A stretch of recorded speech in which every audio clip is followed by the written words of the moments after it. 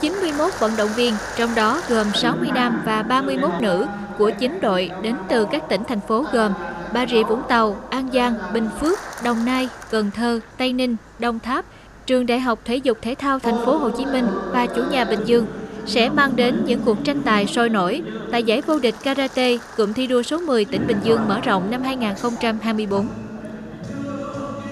Đây là một cái giải mà truyền thống của ờ, tỉnh Bình Dương và là tiền thân của giải này là giải ờ,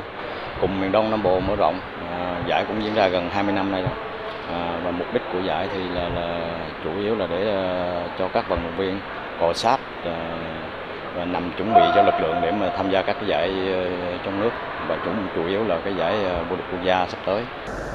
Theo điều lệ, các võ sĩ tranh tài ở các nội dung kata, cá nhân nam nữ, kumite, cá nhân nam nữ, đồng đội nam nữ, ở các hạng cân từ dưới 45 kg đến trên 74 kg đối với nam và từ dưới 40 kg đến trên 61 kg đối với nữ. Đơn vị chủ nhà Bình Dương góp mặt 18 vận động viên tham gia thi đấu tất cả các nội dung. Với lực lượng của tỉnh Bình Dương thì ờ, tham gia tất cả đầy đủ các nội dung thi đấu.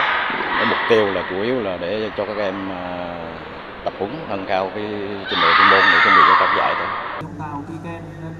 Cuối tháng 4 vừa qua, Karate Bình Dương đã gặt hái được thành tích rất tự hào khi có 3 vận động viên khoác áo tuyển karate Việt Nam thi đấu tại giải vô địch karate Đông Nam Á 2024 ở Thái Lan